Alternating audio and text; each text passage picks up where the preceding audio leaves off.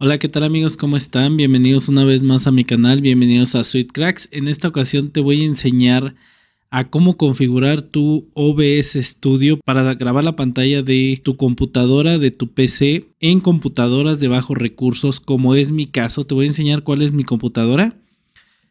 Recientemente la acabo de comprar precisamente para hacer estos tutoriales. Bueno, aquí vemos que es de bajos recursos. La verdad es de bajos recursos. Mira, es un procesador Intel Celeron N4020 CPU de 1.10 GHz y 1.10 GHz. Es, bueno, abarca de 1.10 a como 2. y algo. Y RAM incluida de 4 GB a eh, DDR4 me parece. Y la memoria es de 128. A ver, déjenme ver. Sí, miren, es de 100, bueno, dice aquí 114, pero eh, en total da como 118.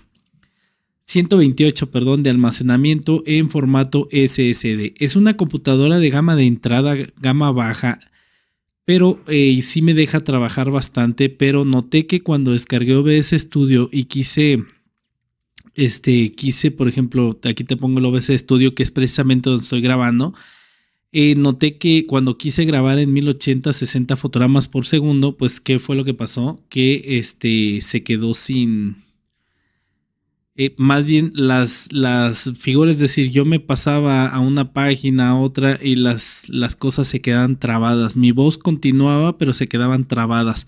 Entonces, en este momento te voy a enseñar a configurar OBS Studio para, eh, para computadoras de gama baja gama de entrada y te acabo de demostrar cuál es mi computadora y aún así tú puedes ver que está fluido, estoy cambiándome de, un lado a otro, por ejemplo aquí abro Word y vas a ver que también no se laguea, no se traba, pero para eso hay que aprender a configurarlo.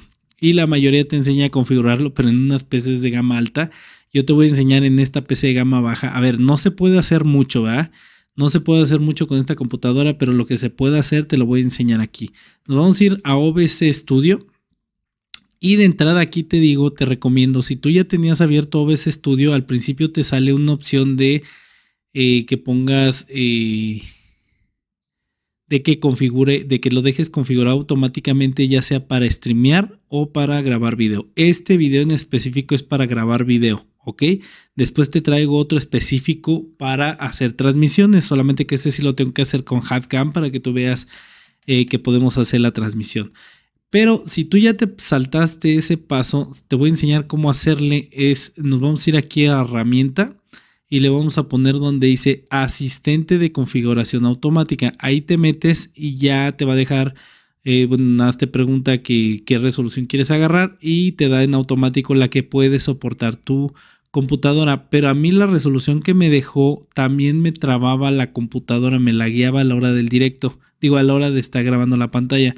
Entonces, a mí no me sale activada porque estoy grabando la pantalla, pero con eso configuras tú de entrada. Checa si te funciona con eso, pero si no, te voy a enseñar a configurarlo. Nos vamos a ir aquí a ajustes en la parte de aquí abajo.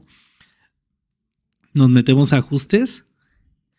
Ok, aquí de entrada eh, nos vamos a ir a salida tenemos que configurar salida, pero primero nos vamos a ir a video para enseñarte que, o sea, video es que configures todo lo de tu video, cómo, cómo va a captar la señal, cómo la va a sacar y todo. Y ahorita nos vamos a salida que también es muy importante. De hecho, es lo más importante para que no se te laguee la grabación. Ok, aquí en lienzo y resolución, esto es lo más importante porque, a ver, nos vamos a ir aquí a la pantalla. Lo voy a cerrar tantito, voy a minimizar y quiero que tú veas de qué es mi pantalla. ¿Ok? Configuración de pantalla. Y quiero que veas la resolución de mi pantalla. Te lo digo porque normalmente en gamas bajas traen una laptop. En este caso es laptop, pero si la tuya es una pantalla, entonces aquí tienes que venir a checar cuál es tu resolución de pantalla. A mí la resolución de pantalla no es 1280 x 720, mi resolución es un poquito más alta que es 1366 x 768 pero no llega a, los 1920 por 1080, eh, que es normalmente, o sea, sí la soportaría si yo sacara este, si yo sacara una pantalla externa, pero en mi caso, como es laptop, no llega a 1920 por 1080, entonces esta es una resolución, ¿ok? Si vemos aquí, cuando tú haces el asistente de herramientas este, para configurar automáticamente, te va a agarrar el lienzo que tú tienes en la pantalla. Y ese lienzo es de 1300 y feria, como, como lo acabamos de ver, 1300 y algo por 700 y algo, ¿ok? Pero eso va a hacer que trabaje más la máquina. ¿Por qué? Ok, nos vamos a video nuevamente, ajustes video. Como ves, aquí el lienzo, bueno, no me deja abrir, pero aquí normalmente el lienzo que me sale aquí en la pantalla es ese que te acabo de enseñar. Ok, vamos a verlo. No debía haberlo cerrado. Aguántenme tantito. Vamos a ir a...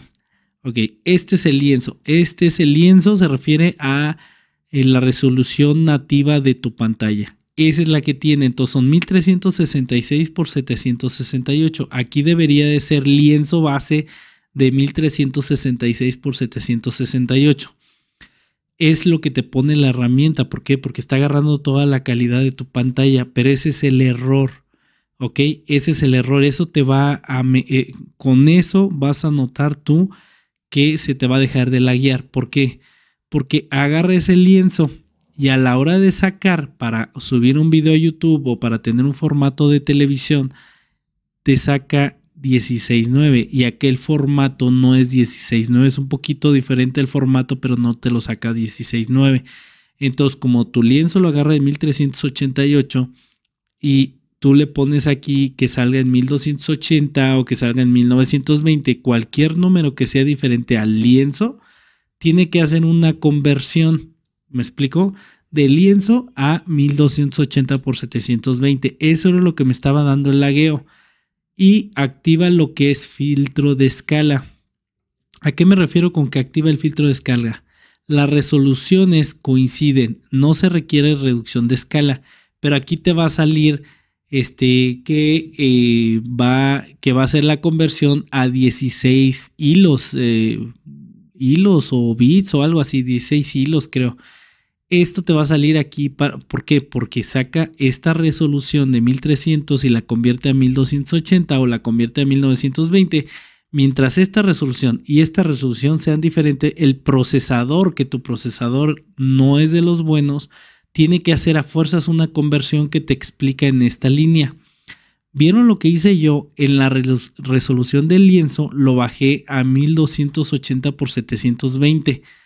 ¿Qué significa? Que bajé de entrada, no está agarrando toda la calidad de la pantalla y, y aún así tú la estás viendo en 720 HD, pero no está agarrando toda la resolución de la pantalla, sino solamente está agarrando 1280 por 720 y la resolución de salida la puse exactamente en lo mismo. Tiene que coincidir este con el de abajo para que no tenga que hacer la conversión y la grabe directamente. Recuerda, los procesadores de alta gama sí hacen la conversión porque tienen un buen procesador. Si en tu caso no es un buen procesador, esto créeme que es lo más importante por lo que tú estás pudiendo ver el video en estos momentos.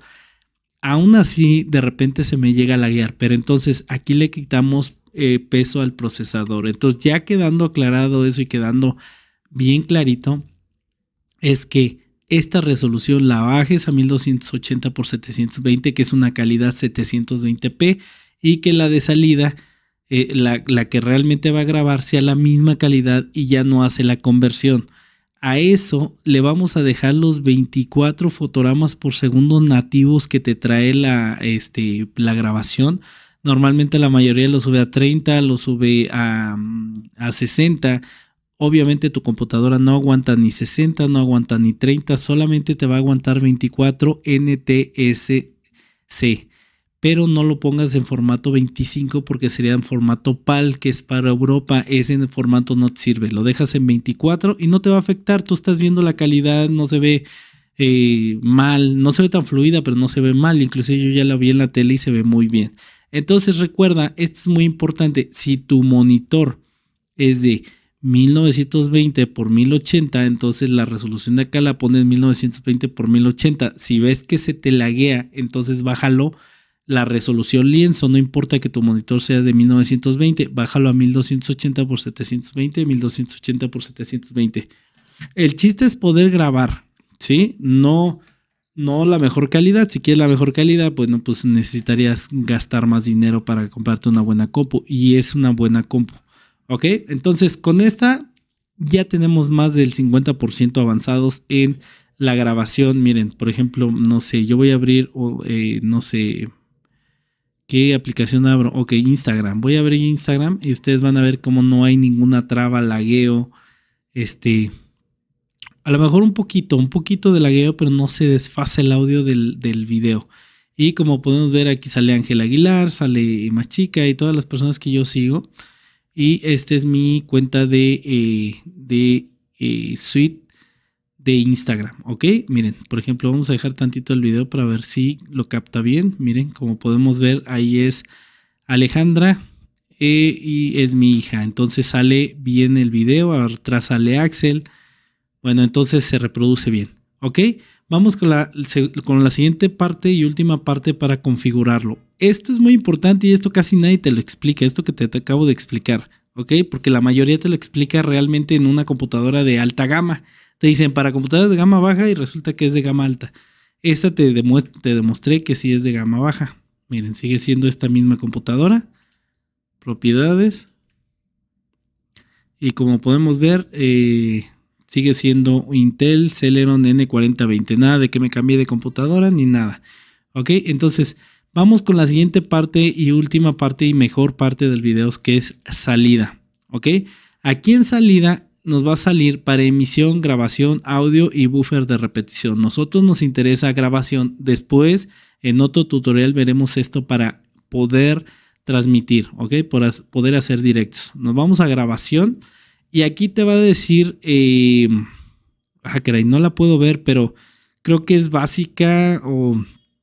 Sí, más o menos es tipo básica. Nosotros le vamos a dar clic aquí y lo vamos a poner en estándar. Recuerda que no me sale porque yo ya estoy grabando la pantalla, pero así te va a salir. Te va a salir, eh, bueno, después haré un video. Si tú quieres que haga un video con HADCAM para enseñarte exactamente cómo es que le tienes que poner, pues te hago un HADCAM, es decir, grabando la pantalla desde afuera como por medio de la cámara. Pero aquí le pones en estándar para que te habilite todo esto de aquí abajo y te voy a explicar por qué necesitas habilitar todo esto de aquí abajo. Aquí ya que una vez que le pones estándar se te va a habilitar todo esto. Formato de grabación es muy importante. Aquí te salen MKV y MKV es un formato pesadísimo, muy buena calidad, nadie lo niega, pero es un formato muy pesado. Hay que ponerle aquí en los tres en la flecha y no, miren, como ven no no no me deja, pero este, hijo, a ver si no la la trabé, a ver, déjenme ver. No, sigue sigue bien. Si es que no vaya a ser que eh, me trabe la grabación, a ver. Emisión, salida, ok. Ah, caray. Ah, no, sí, este es de emisión, salida. Ah, miren, sale como acá, pero aún así también tiene problema. Ok, entonces aquí le vamos a dar clic a la flecha y lo vamos a cambiar en formato MP4. Al cambiar el formato MP4, aquí te dice que este formato corre peligro de que no se grabe, no se grabe eh, lo que estás grabando, ahora sí, valga la redundancia. Pero solamente aplica por si se te va la luz. Bueno, ya sería de plano muy mala suerte que se te vaya la luz. O sea, si tú lo grabas en formato MKV este, y se va la luz, de todo se queda guardado. Se graba, grabando se guarda luego, luego, aunque no hayas terminado. Y en formato MP4 tú sí tienes que ponerle stop o si se te traba la computadora y tienes que reiniciar, se pierde el video. Pero créeme, a mí no me ha pasado, ahorita estamos viendo y por eso te digo que pongas formato MP4. Y formato MP4 también tiene muy buena calidad y es la calidad que acepta eh, YouTube. ¿Ok? Entonces no hay ningún problema. YouTube, TikTok, cualquier plataforma. Entonces sale muy buena calidad. No te preocupes por eso. Inclusive cuando lo vas a, editar en formato MKV, este, muchas veces eh, lo convierte, el, el editor lo convierte a formato MP4. Y aquí donde dice pistas de audio, muy importante que le actives primera, segunda y tercera. Y ahorita te voy a explicar por qué tienes que activar primera, segunda y tercera. ¿Ok? Así le pones primera, segunda y tercera. Y ahorita te explico por qué. Codificador. El codificador mi normalmente es H.264 es para, eh, o sea, el, codificador que está usando es el, el procesador, ¿ok? Es tu procesador. Pero, este, si tú tienes una tarjeta gráfica nada más la seleccionas. Por ejemplo, si tienes una Nvidia, si tienes una tarjeta gráfica aparte que no sea el procesador, eh, pues nada más le das a las flechitas y seleccionas la tarjeta que, que, te traiga de Nvidia o cualquier tarjeta gráfica externa, eh, la pones aquí, ¿ok? En mi caso, y si es tu caso, gama baja, normalmente va a traer eh, gráficas integradas, que es mi caso. Trae gráficas Intel HD 600 integrada. Esa gráfica trae un ayudador, o sea, ya la agarra en automático. Si tú agarras el H.264, ya te agarra la gráfica automáticamente, pero trae, esa gráfica trae una ayudota que se llama QuickSync, que lo que hace QuickSync es una ayuda que hace que aparte de, los de la gráfica 600 que, que, va a estar ayudándote ahí, te da como más, un poquito más memoria, como, como un caché extra, como, como, como poquitos, poquita RAM extra que te ayuda para este, para que le ayude a la misma, a procesador de gráfica, el mismo gráfica integrada que trae de Intel 600. Entonces, si tú agarras este, este de QuickSync, es una ayuda, es como, por ejemplo, si se te llena el, espacio de la gráfica, a ver, por ejemplo, vamos a ver, vamos a ver, vamos a abrir administrador, eh, administrador de tareas. Esperen un momento y nos vamos a ir aquí, ¿ok? Aquí, perfecto. Está el CPU, la memoria y el GPU, ¿ok? CPU obviamente es pues, el procesador. El, GPU es la gráfica integrada, ¿ok? Miren, por ejemplo, ahorita se está usando la gráfica integrada y el procesador lo está usando al 100%. Por eso digo, como es una gama baja, el CPU lo está usando al máximo. Ni modo, no se puede hacer más, al menos que bajemos la calidad. Pero créeme que en esta calidad se puede grabar, así es que no hay problema. Pero el GPU, y aquí está la ayuda del QuickSync, ok, el GPU es un Intel Graphics 600, es una gráfica integrada de 600. Así se llama 600. Y esto es lo que está usando el GPU con la grabación que estoy haciendo. El 32% de la capacidad del GPU. ¿Y qué es el QuickSim? El QuickSim es como un mini, un mini gráfica, un mini, eh, mini gráfica chiquita donde eh, si, si aquí se está llenando mucho el proceso en la en las gráficas integradas manda poquito para poquitas gráficas para que el QuickSync trabaje. Miren, por ejemplo, aquí está el 32% y este es el QuickSync video decoder. Este debe tener otro nombre, pero se llama video decoder. Ese está usando el 6% de su capacidad. O sea, imagínense si ustedes se ponen a grabar, llenan el 100% del CPU, que es este caso, pero la gráfica te exige el 100% del GPU lo que hace es con el extra es liberarlo al QuickSync. Entonces aquí podría llegar al 50%, aquí al 80% y eso te ayuda. Es como, como una gráfica grandota integrada y una gráfica chiquita integrada. No sé si me explico. Es como una, son como dos gráficas integradas ahí. Es, es una gráfica grandota y una, eh, una tarjeta gráfica integrada es chiquita, ¿ok? Entonces la gráfica grande va a ser mayor proceso, pero si le te ha costado trabajo, le va a pedir ayuda a este y entonces entre los dos le van a echar ganas a, a las gráficas, a que salga tu imagen perfectamente. Eso es la ayuda del QuickSim. Si no tiene QuickSim, no importa, tú solamente pon tus gráficas integradas 600 que ya vienen incluidas. Con poner el formato H.264 ya estás usando. Y si te sale alguna otra gráfica, pues tú siempre escoge la gráfica que te salga. Si tienes una gráfica externa, como ya te expliqué, pues la seleccionas cualquier gráfica. En mi caso es QuickSim. ¿Ok? QuickSim y H.264. Entonces todo va a ser para ayudarte. Y eh, bueno, este de la escala dice que el lienzo original es 1366 por 768, pero en mi caso ya sabemos que el que está agarrando es 1280 por 720 y sale en 1280 por 720. Y con eso es toda la configuración aquí. Ahorita te explico lo del audio, pero es toda la configuración que vas a hacer aquí y solamente vas a, a ver, solamente vas a aplicar y aceptar y reinicias el programa al reiniciar el programa, es, bueno, reinicias para que no se te buguee el OBS, ¿verdad? para que no empieces luego, y tengas problema. Esa es toda la configuración que tú tienes que hacer aquí y ya te expliqué lo que es el QuickSync y cómo te ayuda. Entonces, eh, vamos a explicarte lo del audio. Eh, habilitamos tres pistas. Le ponemos aceptar. ¿Y qué vamos a hacer? Ok. Aquí como podemos ver está el audio del escritorio, es decir, si yo abro alguna música o cualquier cosa, este, aquí se va a dar el sonido del el audio del sistema y aquí abajo es mi, eh, mi micrófono Blue Yeti Nano. Perfecto. Entonces aquí están los dos, el escritorio y el Blue Yeti Nano. Si nosotros no activamos esas tres pistas, o sea, lo ponemos en el, aquí en, en espérenme, déjenme enseñarles bien. Aquí en salida, recuerden que en grabación nos sale aquí en básico. Y en básico solamente te deja grabar un solo audio, un solo plano. Lo voy a explicar lo más fácil que se pueda.